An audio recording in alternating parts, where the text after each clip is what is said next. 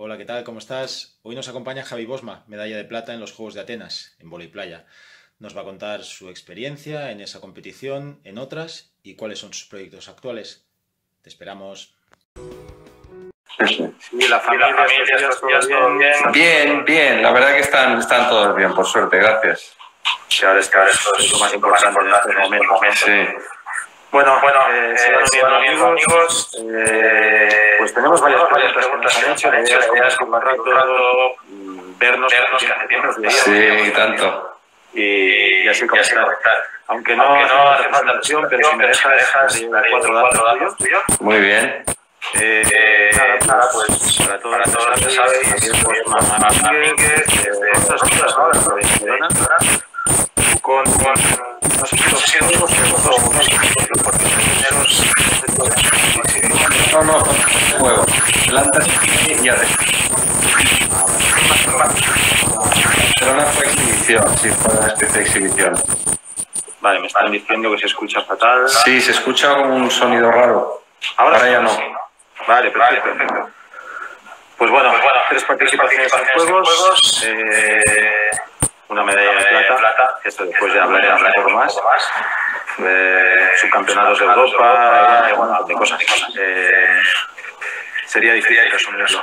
Pero bueno, eh, en estos días que estamos todos haciendo actividad, o es que todo el mundo entrena en casa, ¿qué estás haciendo tú para mantenerte así de forma?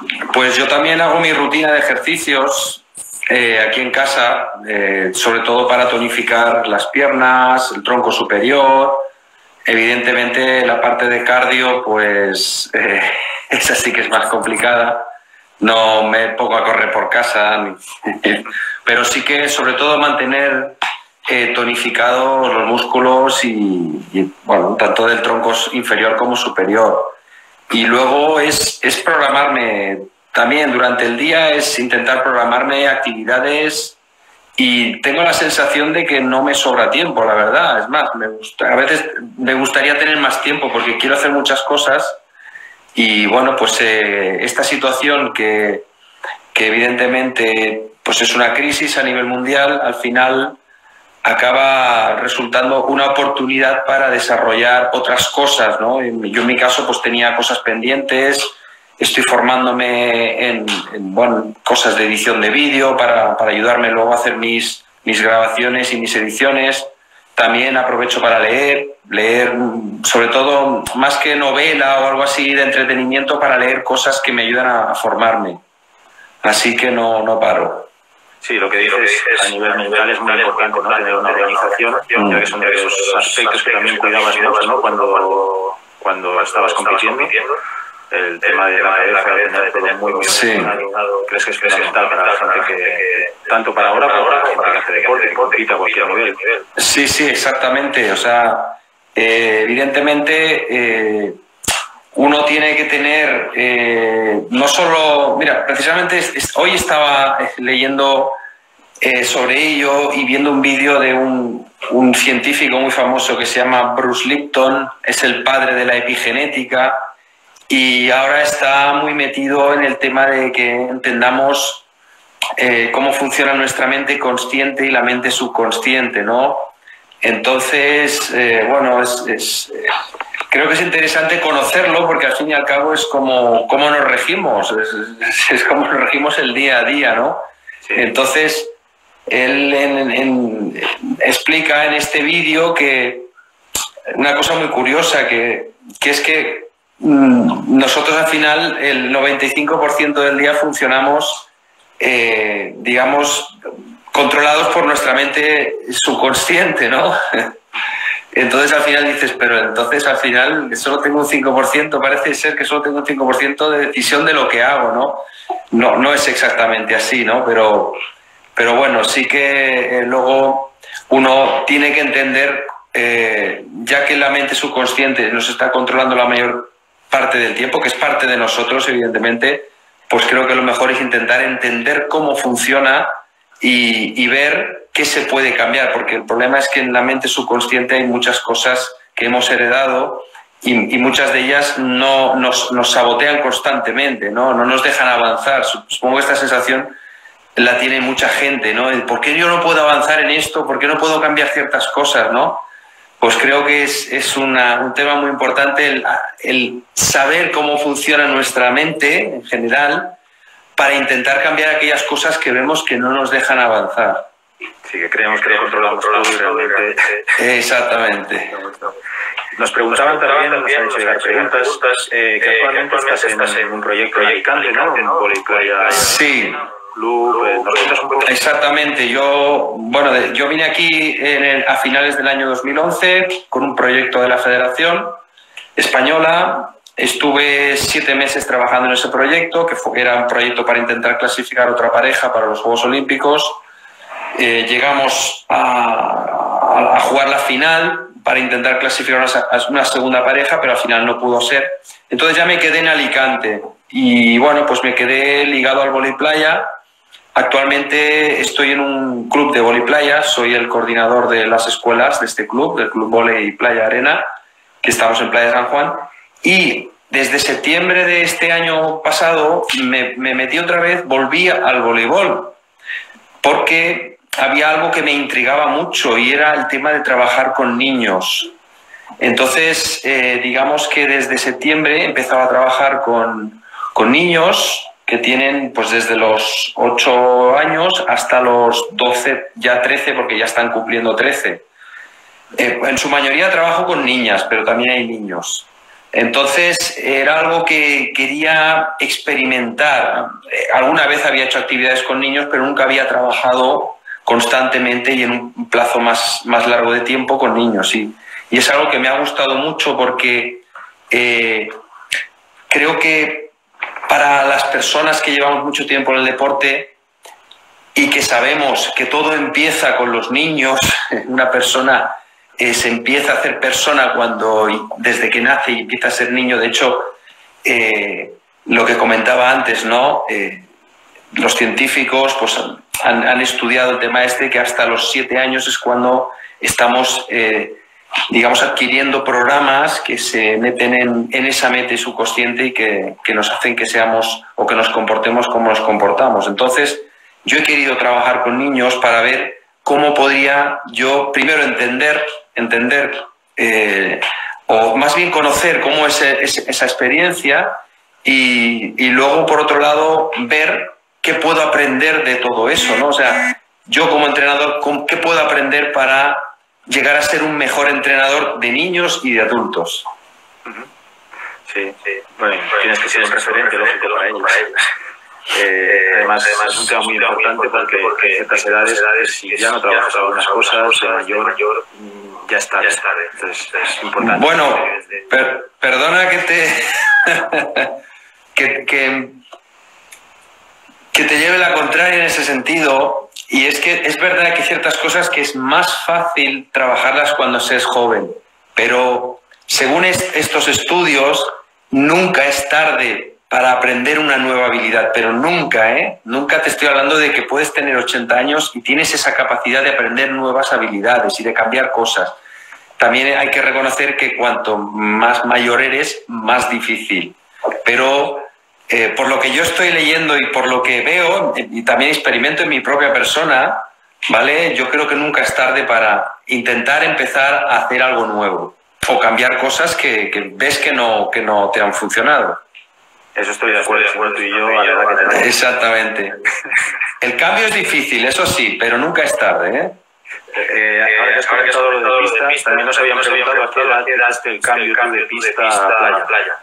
Pues mira, yo lo, lo, tuve que hacer necesariamente cuando tenía 24 años, que fue mi última temporada en pista, porque yo eh, en esa época tuve, o sea, en un año antes había tenido la segunda operación de rodilla en la que, bueno, pues me tuvieron que quitar prácticamente todo el cartílago que tenía en el, en el cóndrilo del fémur y de la tibia. O sea, me hicieron lo que se llama una osteocondritis. O sea, yo tenía una osteocondritis que era que eh, me habían quitado anteriormente el menisco y debido pues, al, al deporte, al salto, que, que, es tan común en el vóley, la cabeza del fémur y, del, y de la tibia habían empezado a chocar hasta tal punto que el cartílago quedó completamente destrozado. Entonces, me operaron con 23 años, me, hicieron una limpieza, incluso me tuvieron que perforar eh, la cabeza del fémur hacia adentro para regenerar el hueso. Entonces, digamos que mi rodilla quedó bastante, bastante tocada. Era una operación que incluso me, me habían anunciado en ese momento que yo no iba a poder hacer más deporte. Afortunadamente el vóley playa pues ha sido un deporte que me ha permitido seguir jugando porque el impacto que recibía yo en la pista, al ser una superficie más dura, no, no era igual, no me castigaba tanto en la playa. Así que mira, con 50 años sigo jugando para divertirme. Es verdad que ya no casi no compito, todavía hago alguna pequeña competición, pero evidentemente, bueno, tampoco estoy en una edad para competir, pero vamos, que sigo pasándomelo bien y disfrutando de este deporte a pesar de, bueno, de, seis operaciones que llevo en la rodilla. Sí, de hecho, era una de las cosas que nos teníamos por aquí anotadas. Eh, incluso algún médico, médico decías, ¿no? Que te había dicho que tenías que dejar ya el deporte. Exactamente. Hace un año hablando con Asisto nos decía que el médico se encontró a cabo de unos años y le preguntó, bueno, ese chico va en silla de ruedas. Dice, no, no, tiene una medalla de plata. Eh, y, bueno, sí, bueno, sí, tuviste que hacer varios cambios, pasar a jugar atrás, Sí, sí, sí, eso fue un cambio importante también, porque bueno, en el año después de Sydney eh, decidí realizar ese cambio porque, claro, el, el papel que desempeña un bloqueador es, es, más exigente en ese sentido. Y, y, bueno, a mí yo noté que ya me estaba afectando bastante en el tema de la rodilla, entonces, bueno, pues decidí decidí pasar a jugar como defensor y bueno, pues mira, estamos hablando del cambio que lo hice en el año 2000 y ya han pasado 20 años prácticamente desde entonces. Sí, después también, igual es interesante destacar eh, en cuanto a los entrenamientos que utilizábamos mucho el trabajo con electroestimulación, sí. entrenamientos no tan comunes, ¿no? Sí. Pero que al final de lo que se trataba es de que pudiese competir en, las mejores condiciones posibles. Exactamente. Yo, bueno, gracias a ti, Joan, encontré el trabajo de electroestimulación que me ayudó a mantener un tono considerable y, que no castigara o que no tuviera un impacto sobre la articulación. Entonces, bueno, eso me ayudó muchísimo en su época. Sí. Nos comentaban, supongo que el momento está claro, cuál es el momento de, de trayectoria el que más satisfacción te ha aportado. Suponemos que es esa medalla. Bueno, eh, a ver, a nivel de resultados, pues eh, es difícil eh, es difícil obviar el hecho de que bueno, la repercusión que tienen los Juegos Olímpicos pues no la tiene ninguna otra competición, ¿vale? Si bien eh, en, ese año pues eh, se concentraron quizá los resultados más destacables que, yo haya tenido en, este deporte a nivel de resultados, eh, también tengo que decir que yo he disfrutado de cada fase de, de, mi vida, desde que empecé a jugar el primer campeonato de España con 21 años Ah, luego seguí, jugué con Sixto, jugué con, con Fabio Díez, estuve cuatro años con Fabio, que fue una temporada larga también, cuatro años de ciclo. De hecho, fue el compañero con el que estuve más tiempo. Y finalmente con Pablo, eh, que estuve prácticamente año y medio, no estuve más de año y medio. Y luego tuve dos, dos eh, años más de competición, uno con Alex Ortiz y otro con Inocencio Lario. Entonces, disfruté de cada uno de ellos. Eh, hay que reconocer que, claro, cuando tienes buenos resultados, pues eso le da un plus, ¿no? Y, y bueno, resultados, buenos resultados especialmente tuve con Sisto, con Fabio y con, y con Pablo, Pablo Herrera. Que pues Sixto, se convirtió en tu entrenador. Exactamente. Luego Sisto más tarde, cuando, cuando yo jugué con Pablo, eh, pues eh, yo hablé con Sisto para que nos entrenara, porque creo que la relación con él siempre ha sido muy buena. Yo ya sabía que él era muy buen entrenador y confiaba en ello. Y aparte, bueno, él, fue también el primer entrenador que tuvo Pablo Herrera en la playa. Sí.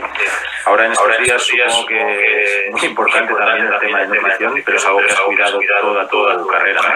Sí, sí, es, es, algo, más que, más que he cuidado mucho, es algo en lo que no me he tenido que preocupar, ¿vale? Yo creo que mi metabolismo eh, pues también ha, jugado un papel importante en esto, en el sentido de que yo soy un, yo tengo un metabolismo que pues que no, no tiende a, digamos a guardar reservas. O sea, yo prácticamente soy una persona que he tenido muy poquita grasa en mi vida y de hecho mi mayor preocupación siempre ha sido mantener el tono muscular porque si no lo que hacía era perder peso. Con lo cual, sí, mi, cuerpo no, no pide comer. De hecho, hoy en día eh, yo como de todo, pero no, no, no, me pide estar comiendo constantemente comida basura. De hecho, no sé si esto formaba parte, pero sí que nos han hecho llegar algún, dato de los asaditos que hacíais con Martín Conde y Mariano Baracetti, que era parte de esta nutrición, ¿no? Por supuesto, y de hecho eso no lo he perdido. Hoy en día, no ahora, evidentemente, pero eso es algo que ve. Aquí en, en Alicante tengo amigos y seguimos haciendo esos asados, por supuesto, de vez en cuando. Hay que disfrutar de la vida. Sí, señor.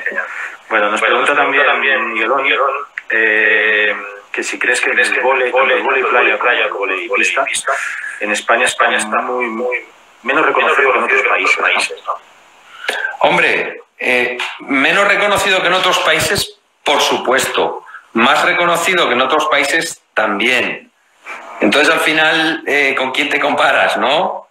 O sea, yo creo que, si bien es cierto que en España tenemos mm, costa para aburrir, por decirlo de alguna manera, y que el vóley playa eh, cada vez se juega más, se practica más, también hay que reconocer que se juega y se practica más a un nivel amateur, ¿vale? Lo que es el nivel, digamos, de competición a nivel nacional, en ese sentido, mm, yo creo que se ha perdido fuerza, y se ha perdido fuerza porque desde hace años ya el circuito nacional no es un circuito que invita, digamos, a los jugadores, sobre todo jugadores que también juegan en pista, por ejemplo, a que luego quieran participar en playa, porque al fin y al cabo eh, tenemos que saber que el jugador que está en pista pues está cobrando eh, un, dinero por jugar en pista y evidentemente en verano pues la idea es también seguir ganando un dinero por,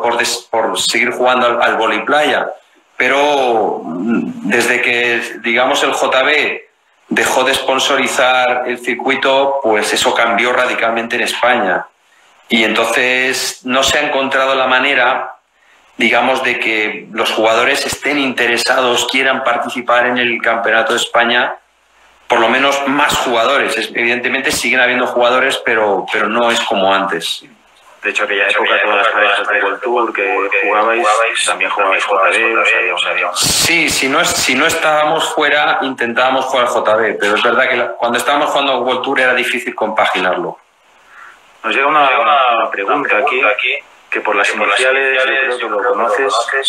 Fer, debe, Fer, debe ser Fermín Exacto, debe ser, debe ser.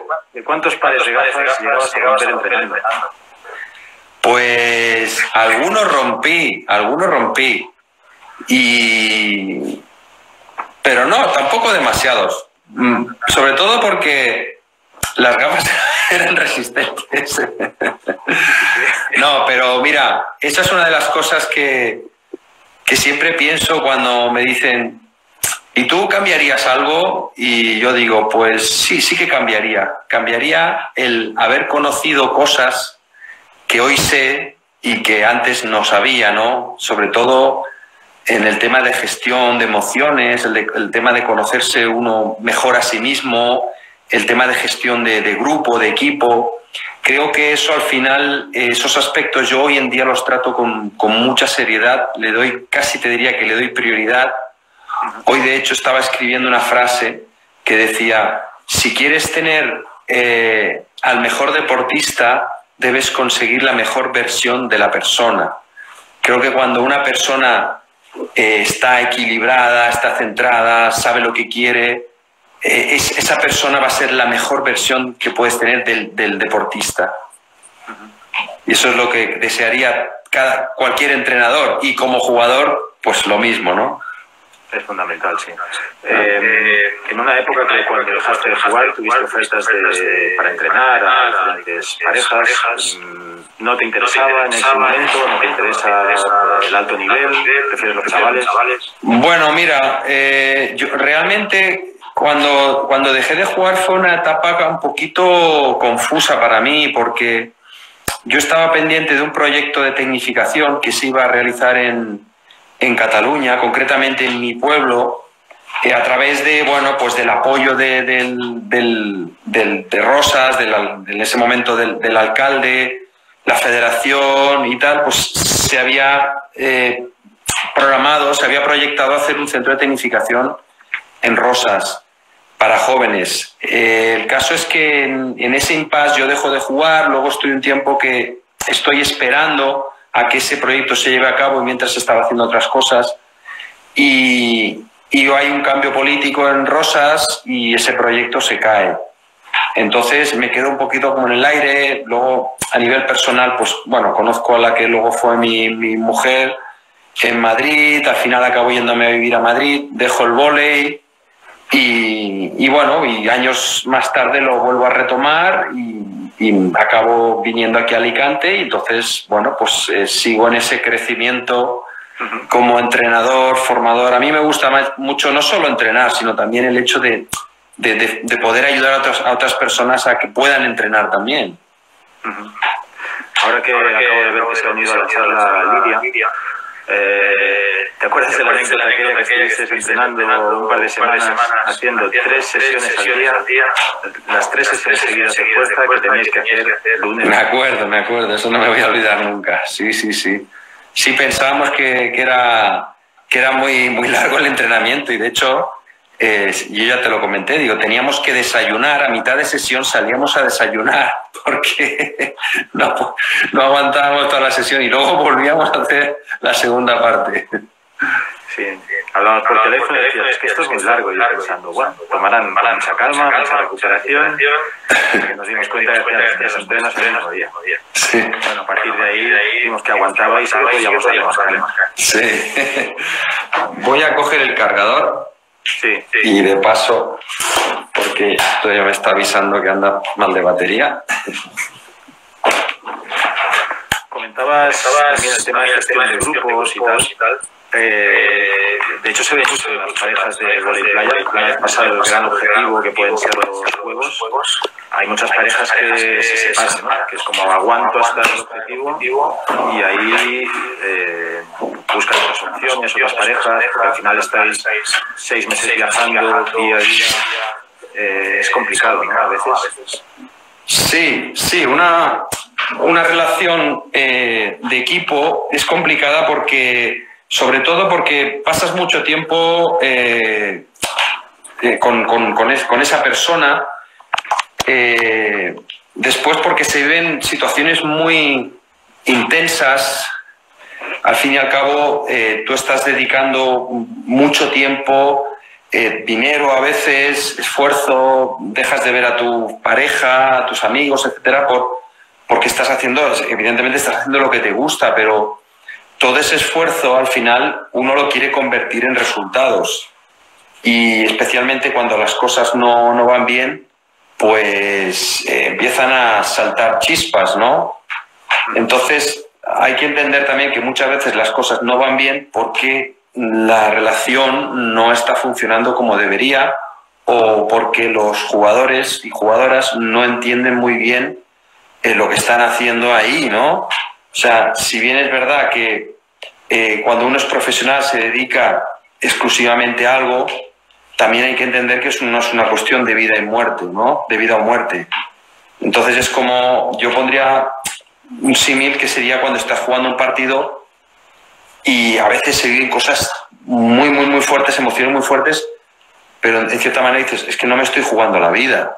O sea, estoy, estoy haciendo un deporte que me gusta, Evidentemente, si me va bien podré seguir, si no va bien no me podrá seguir, no podré seguir, pero es una manera de como de seguir haciendo lo que quieres hacer, pero de una forma más tranquila, ¿no? Con, con más calma, ¿sabes? Puedes seguir jugando con intensidad y todo, pero el cómo te tomas las cosas, pues a veces puede condicionar que, que bueno, pues que, que, sigas disfrutando de lo que haces o que, o que acabes mal. Sí, sí. De hecho, a veces se ven, muchos saltos en el por ejemplo, pues tú con Fabio eras más parecidos, pero con Pablo sí. diferencia, o con Nino, ¿no? Entonces, sí. los intereses personales, todo Claro. Sí, sí, por eso es tan importante el, gestionar el, grupo. En este caso el grupo, bueno, puede ser de dos o puede ser de más, porque también eh, puede estar el, psicólogo, el preparador físico, el entrenador, el estadista. Al final el grupo acaba siendo más grande, pero evidentemente las dos personas que tienen que llevarse mejor son las dos personas que están en el campo, ¿no? Eso está, está claro. Y volviendo un momento a la, final, olímpica, nos habían preguntado también, que claro, que no era imbatible, pero sabían que Ricardo y Manuel eh, pues era un, era un papelón, ¿no?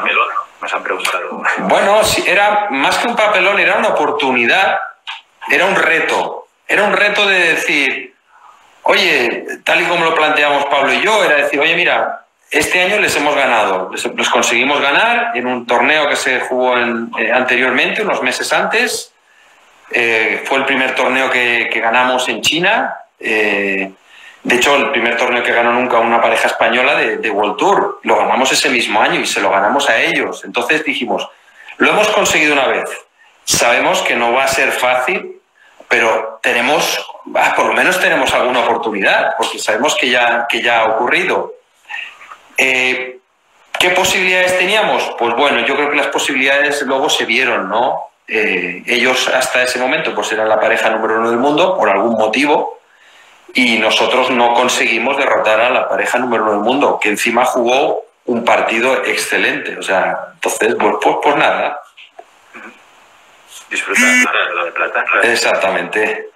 Y, también nos preguntaban que tal vez un poco a las, tanto a a Pablo y a Adrián, era de cada de juegos, pero todavía queda un año Claro, ahora tienen un año, ahora tienen tiempo de reflexión.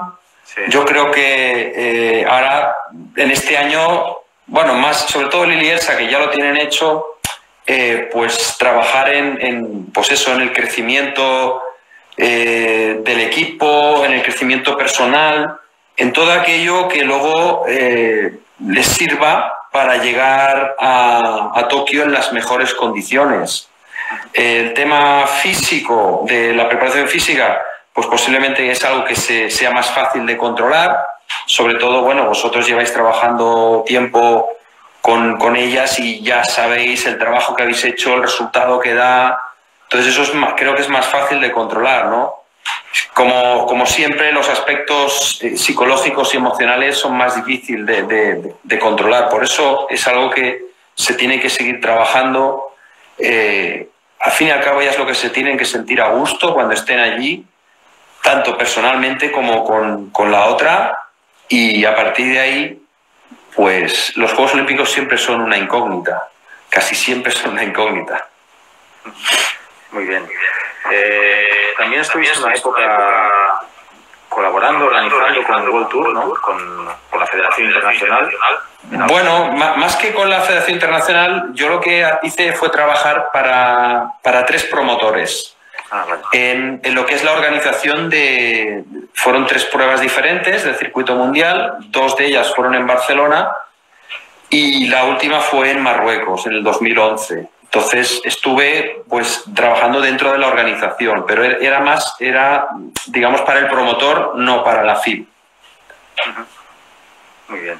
Y también nos han preguntado cuando competías cómo era un día normal de entrenamiento, una semana, pues, eh, número de sesiones, cómo hacíais, mañana playa, físico, tal. Pues mira, normalmente podíamos tener, eh, dependiendo del año, ¿vale? Y del entrenador que tuviéramos, el, trabajo era diferente, ¿no? Yo recuerdo haber tenido eh, seis sesiones de pesas en una semana, en periodos concretos, o haber trabajado tres sesiones de pesas. Todo depende del momento en el que estés eh, de, la, de la preparación. ¿Vale?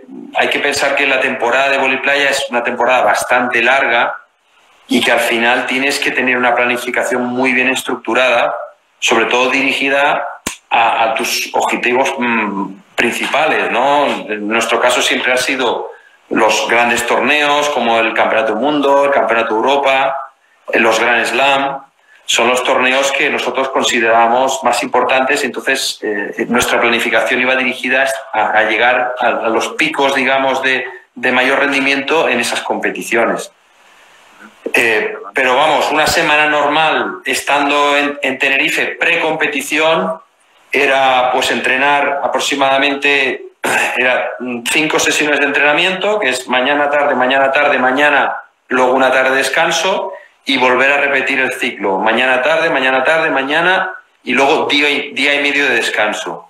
¿Vale? Porque hay que eh, decir que tan importante es entrenar como descansar. O sea, tú quieres pedirle a tu cuerpo el máximo, no le puedes pedir el máximo cuando tu cuerpo está, está completamente eh, desgastado, ¿no? ya, lo, ya llevas tiempo de trabajo encima. Entonces, al final tienes que hacer un cálculo allí, es un trabajo que tienes que hacer con tu, con tu preparador físico, importante, tiene que haber buena comunicación. Y luego, lo mismo que hablaba antes, tú tienes que saber cómo responde tu cuerpo, ¿no? Tienes que conocerlo y saber cuándo puedes apretar más y cuándo tienes que bajar un poquito el ritmo. En semanas de competición era completamente diferente. El trabajo de pesas era más bien un mantenimiento y el trabajo físico y el trabajo de arena pues iba dirigido a, mejorar aquellas cosas que habías detectado en el torneo anterior que no estaban funcionando bien. Y luego siempre pues trabajar situaciones de, juego, claro, al final tú estás jugando semana sí y, semana también, o sea que entonces tienes que ir cuidando mucho la parte competitiva. De hecho, el miércoles hablamos con Elsa que a veces los viajes se parecen un poco casi a esta situación actual, que llegas a un sitio, a China, y a ver qué es lo que encuentras para, para poder entrenar y te dices, mira, pues no hay gimnasio, hay no sé qué, sí. hay que buscarse la vida Exactamente. en esos aspectos, ¿no? Sí, sí. se piensa, va, que el deportista llega allí, tiene el super gimnasio. Eh, no, depende de dónde vayas, no. Ah, incluso hay veces que te desplazas a un, a un sitio y ni siquiera las pistas están montadas, o sea que las, montan el último día. Entonces, pues te tienes que buscar la vida. Pero también es un tema de planificación, o sea, si tú te informas con anterioridad, sabes que hay equipos locales por allí que entrenan en otros sitios, pues te puedes organizar. Y al final, lo, más importante es que si tienes ganas, si tienes interés, vas a buscar alternativas. Muy bien, muy bien. Pues, bueno, bueno, la idea de hoy era eso, charlar un poco, comentar, que nos explicase cuatro cosillas. No sé si te queda ganas de explicar algo, si tienes algún proyecto así nuevo, aparte del tema de los niños. Bueno, lo que decía, yo estoy trabajando en, en un proyecto en el que lo que quiero es que se convierta como un sitio donde las personas puedan encontrar información práctica e información que les pueda ayudar a, desarrollarse como, como, entrenadores y como jugadores. Entonces estoy trabajando en eso, eh, me estoy formando, evidentemente, para poder eh, dar también la mejor, aparte de toda mi experiencia como jugador y lo que es el tema, temas de playa, que eso lo tengo mucho más claro, sobre todo en intentar dar las mejores herramientas para que entrenadores puedan tener la oportunidad de, de enseñar a jóvenes en las mejores condiciones, que creo que hasta ahora eso no es algo fácil, especialmente en España, porque no hay, no hay muchos sitios, no hay muchas fuentes donde uno pueda ir y buscar eh, herramientas, buscar conocimiento. Entonces, estoy en un proyecto para, para intentar crear ese sitio y que, bueno, pues poder de alguna manera trasladar todo aquello que llevo dentro, pues trasladárselo a los demás y que, y que los demás dejar como un, como un legado, ¿no? por decirlo de alguna manera. Muy bien, pues lo, seguiremos y seguro que lo seguirá la gente. Nada, por nuestra parte, muchas gracias por haber querido compartir este rato y a ver si en breve nos vemos. Pero en pues cuando quieras, Joan, sabes que es un placer siempre hablar contigo, ¿eh? igual que lo fue trabajar contigo y nada, cuando queráis, aquí estoy. Muchas gracias, Javi. Un abrazo. Chao. Gracias a todos.